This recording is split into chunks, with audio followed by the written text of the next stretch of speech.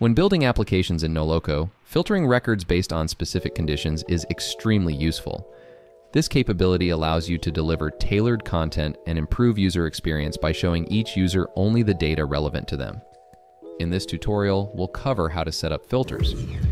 First, we'll cover setting up filters based on the logged in user. This will help ensure that everyone sees only what they need to, keeping things tidy and secure.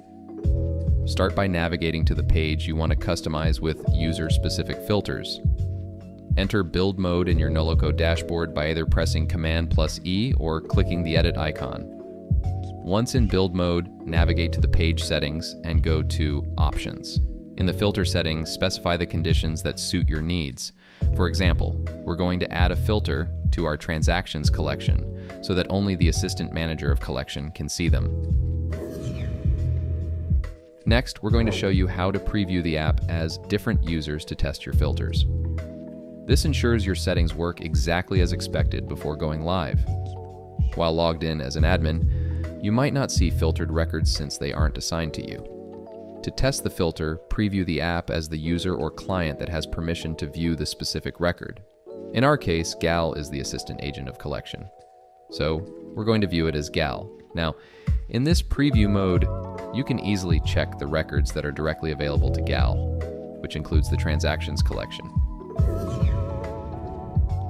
Now that you know how to set up a filter, let's talk about one of the most commonly asked questions. What do you do if there are no options there? Well, if you don't see any filtering options based on the logged in user, it likely means the collection is not properly linked to your user's table. So you should check that your data model includes a relationship between the collection and the NoLoco user table. And if you're using an external data source, confirm that your user data is synced with the NoLoco user table, either directly or through a relationship field in your external data source. If you're using a user list from an external source like HubSpot, the process is similar, but requires additional setup.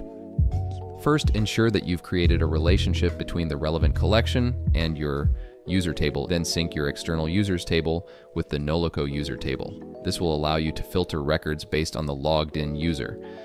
Once synced, you can filter a collection view by applying a condition on the relationship field that links the records to the logged in user.